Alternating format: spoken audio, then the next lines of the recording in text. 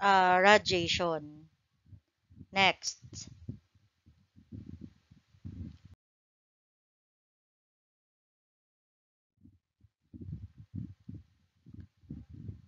Next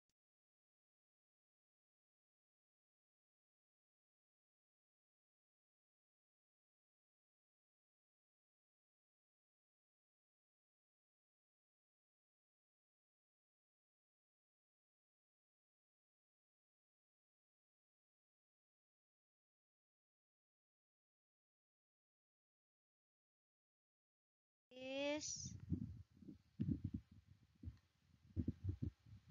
the benefits and hazards of electromagnetic waves, telecommunications, physical.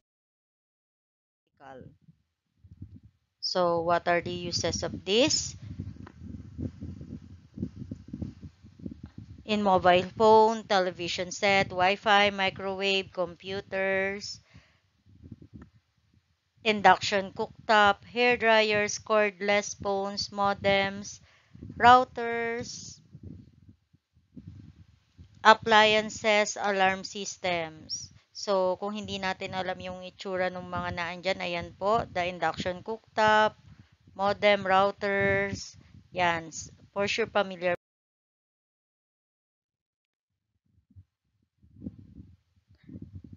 Next is in medical, we have MRI or magnetic resonance imaging, laser lithotripsy, X-ray, computed tomography, or ito yung tinatawag nating CT scan, radiation therapy, chemo chemotherapy, immunotherapy, positron emission tomography. So, ito po yung mga pictures nila, the MRI, the laser lithotripsy, the CT scan. CT scan and MRI parang halos parehas lang po. Yan. So, in medical uses, but still have radiation. Next.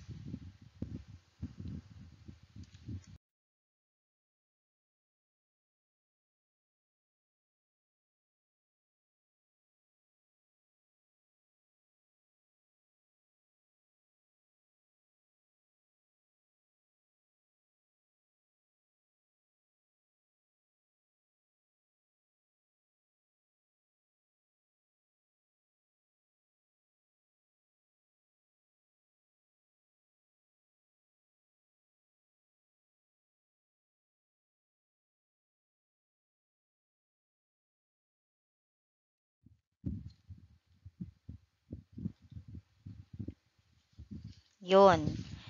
In your module, um, in learning task 1, you're going to read and analyze the various effects of electromagnetic radiation in the environment and other living things. Then, you're going to answer the question. So, on that part, you're going to read the electromagnetic radiation, the environmental indicators in our surroundings. So, good luck.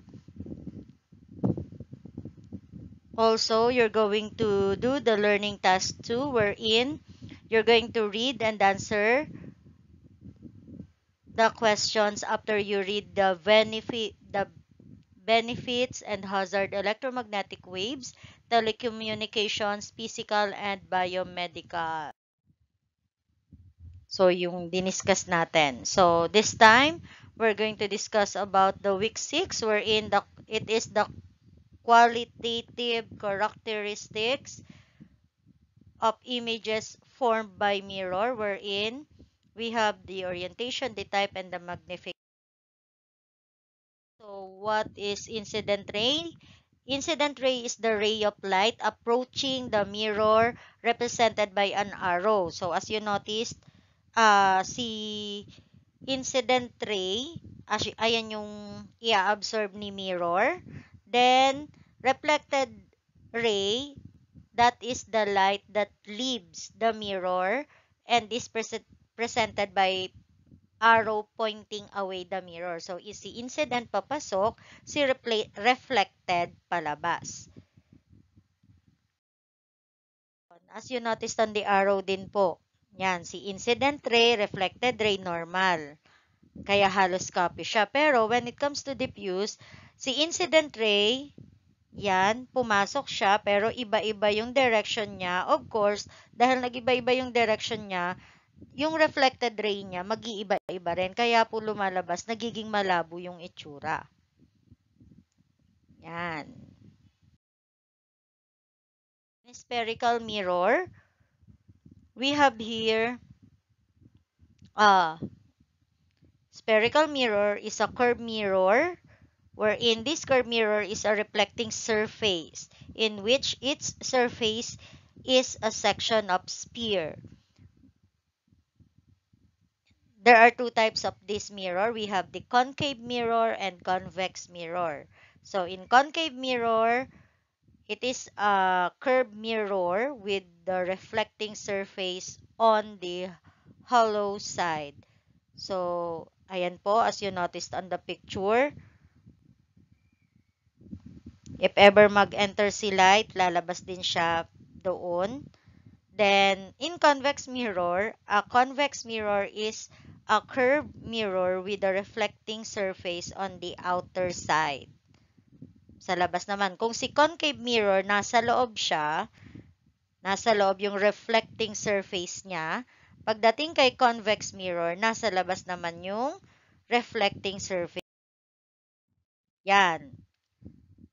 Let's have the example of this. Example of concave mirror para maging familiarize tayo. So, we have mirrors used in automobile headlights, reflecting telescopes, searchlights, etc.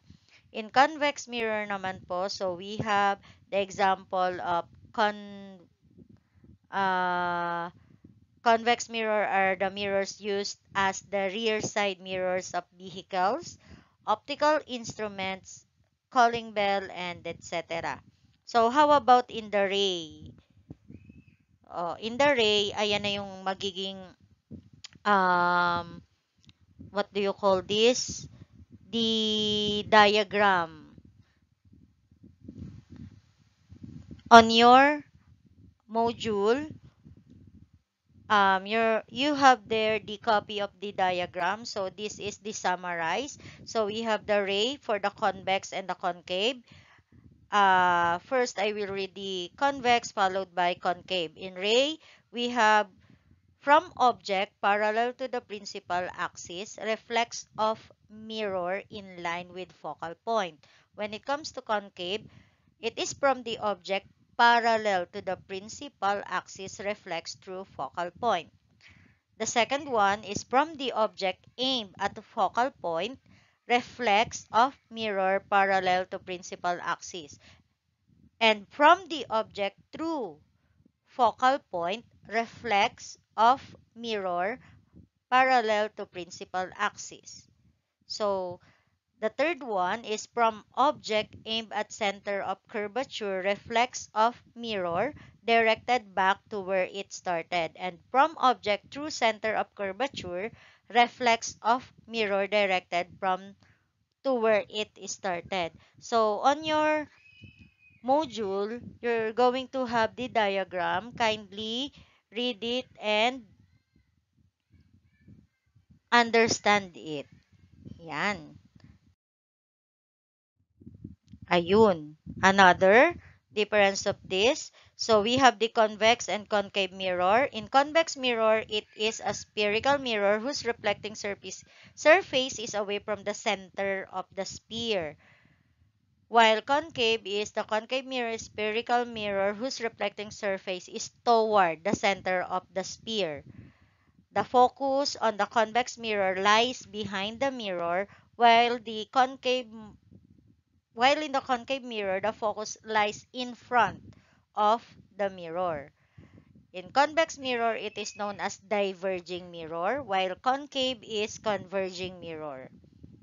So, in the shape, as you notice, in convex, nandun po sa uh, reflecting surface niya is inside the mirror, while the concave mirror, yung reflecting surface niya is in outside.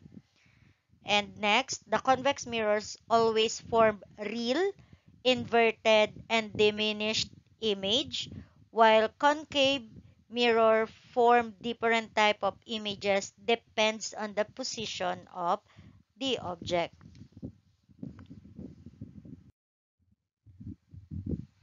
Yan. Next, we have in week 7, we have the qualitative characteristics of images formed by the lenses.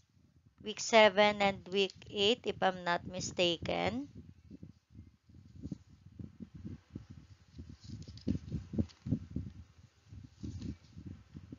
Yon.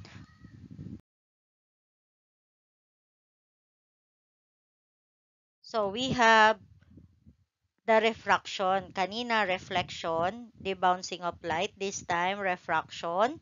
You already discussed this when you were in grade 8.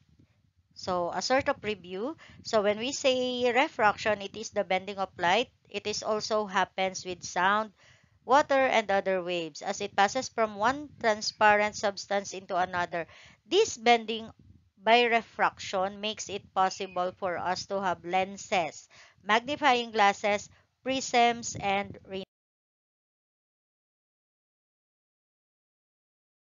Yan. We have lenses. What are these lenses? Or lenses is a piece or lens is a piece of glass or other transparent substance with curved side for concentrating or dispersing of light para po si light ay ma-dispersed or maghiwa-hiwalay. So, best example of this is the prism. As you notice in the prism, halos white lang siya. Tama po ba? Or uh, transparent lang. When the uh, light ray enters the prism, nagdi-disperse yung light and as you notice of light, nagdi-different colors po siya. Yan. So, we have the converging lens and the diverging lens. So, as you notice po, converging, medyo bilog siya. Then, diverging, parang uh, medyo naka-curve naman po siya. Yan. So, example of lenses in converging lens, we have the biconvex or double convex. Ayan po yung itsura ng lens niya. Pag may nakita tayo. We have the plano convex. We have the meniscus convex. In diverging lenses naman po, we have the biconcave or the double concave, the plano concave, and the meniscus concave.